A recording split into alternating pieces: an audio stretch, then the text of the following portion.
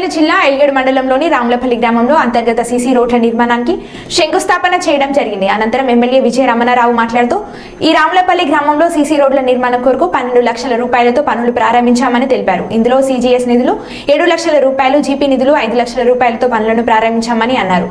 అలాగే కాంగ్రెస్ ప్రభుత్వం ఇక నుండి రైతులకు అన్యాయం జరగకుండా చూస్తామని తెలిపారు. దాదాపు పన్నెండు లక్షలతోని రోడ్డు నిర్మాణానికి భూమి పూజ చేసుకోవడం జరిగింది. ఏడు లక్షలు ఎన్ఆర్జీఎస్ నిధులు ఐదు లక్షలు ఎస్డిఎఫ్ నిధులతోని మరి కార్యక్రమాన్ని చేపట్టడం జరుగుతుంది.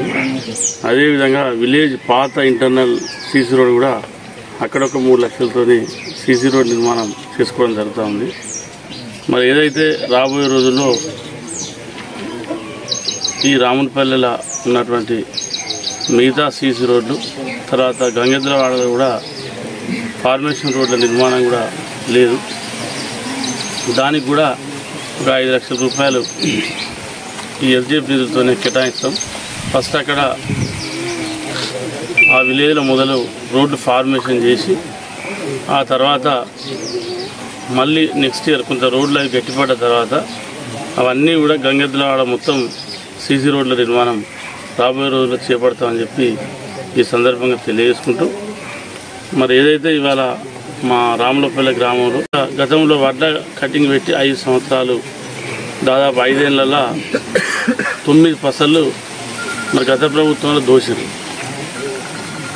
క్వింటాలకు ఐదు కిలోల నుంచి స్టార్ట్ చేసి పది పన్నెండు పదిహేను కిలోలు ఇట్లా వడ్ల కటింగ్ పెట్టి మరి అటు రైస్ మిల్లర్స్ కానీ ఇక్కడ ఉన్నటువంటి సెంటర్లో ఉన్నటువంటి సెంటర్ యజమాన్యం కానీ జిల్లా యంత్రాంగం కానీ టోటల్గా అందరు కలిసి రైతులను అనేక రకాలుగా ఇబ్బంది పెట్టారు మరి మొన్న వర్షాకాలంలో కూడా దాదాపు అటువంటి ఇబ్బంది రాకుండా చూసినాం. ఇప్పుడు యాసంగిలో కూడా వడ్ల కటింగ్ లేకుండా చూసే బాధ్యత నాది. సరే ఏదున్నా రైతులతో చర్చించి రైతుల ఆమోద యోగ్యత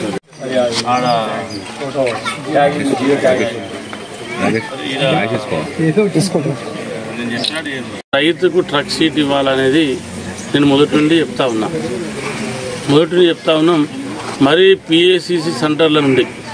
సింగిల్ విండో సొసైటీ ఎక్కడనే మార్క్ఫెడ్ సెంటర్లు ఎక్కడనే ఇంకా అక్కడ ఎక్కువ దూషం రైతులను. ఇది ఈ రాబోయే రోజుల్లో మీకు ఆ పరిస్థితి లేకుండా చూసే బాధ్యత నాది. వందకు వంద శాతం ఎవరిని వదిలిపెట్టము. ఎవరు ఎవరితోని కుమ్మక్కైనా ఎవరు ఎవరితోని లాలుచిపడ్డా రైతులకు వడ్ల కటింగ్ లేకుండా చూసే బాధ్యతను మనందరం తీసుకోవాలి. నేనేమంటా రైతులకు ఎంబడే కట్టి ఇంకా లేటర్